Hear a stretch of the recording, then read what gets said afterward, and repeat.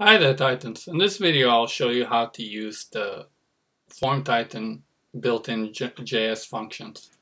So if we'll head over to one of the fields, um, let's say the hidden, the account ID, and head to conditioning and click configure conditions and set up some conditions. So in this instance current field is not empty and go to the execute JS option and hit configure so we can see all of the built-in functions that we have by FormTitan. So we can do FormTitan reload parent and FormTitan get CSS element and FormTitan set CSS element and get hash hiddens which will return all the hiddens on the form.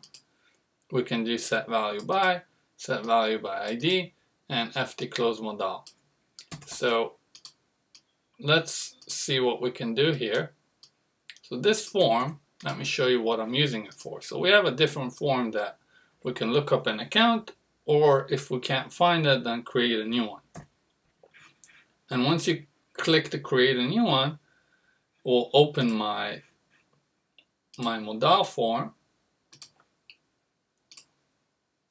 Let's take a look at the settings here. So I've set it up to allow a new record and I labeled it create a new account and I configured it. So I said open in modal and I'm pointing to my to my uh, other form. And let me show you how this looks like. So if I'll publish this and I'll search something and do create a new account. So I get my form um, where it lets me create a new account. So what we're going to do here is once we create a new account, just to demonstrate how you can use the JavaScript options. So once you create a new account, we want to do a few things. First of all, we want to return the created account to the parent window, which is uh, my our first page. And then the second thing that we want to do, once the account is created, we want to close the modal um, automatically. So um, let me show you how it works now. So this is not going to be closing. Uh, not closed modal and I'll put in some phone number, select the type and submit.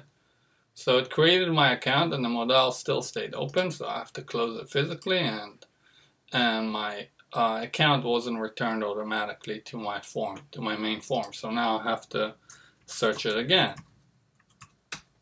So here is my account that I just created. So let's head back to my modal form and go to my JavaScript and what I'm going to do is this. So first thing is I'm going to do set value by ID.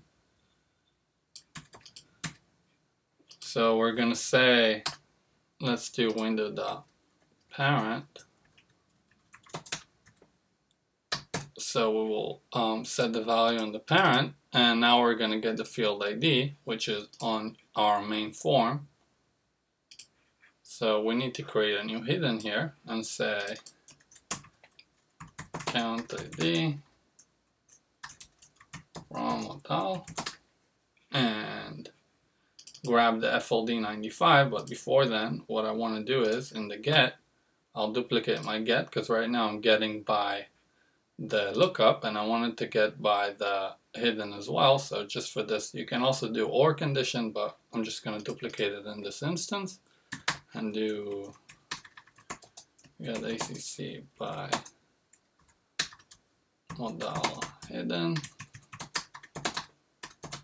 and set the condition change it from account ID from modal apply save my form. So this is again, we're gonna head back, so FLD95.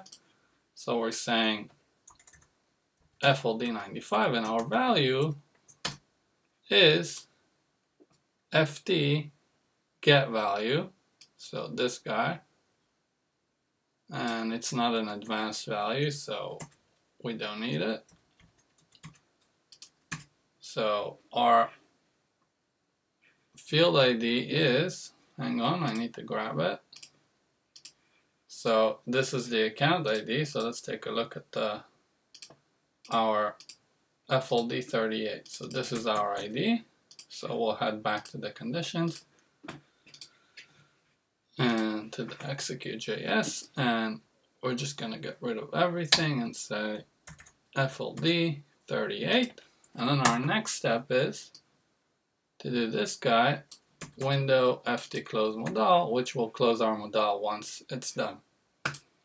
So let's apply everything here and refresh our form. And we'll do close auto. And we'll give in some phone number and hit submit so everything worked perfectly. I got the account ID from Modal and by that we ran our get. So we got the name automatically closed auto customer direct and phone. And this is how it's done.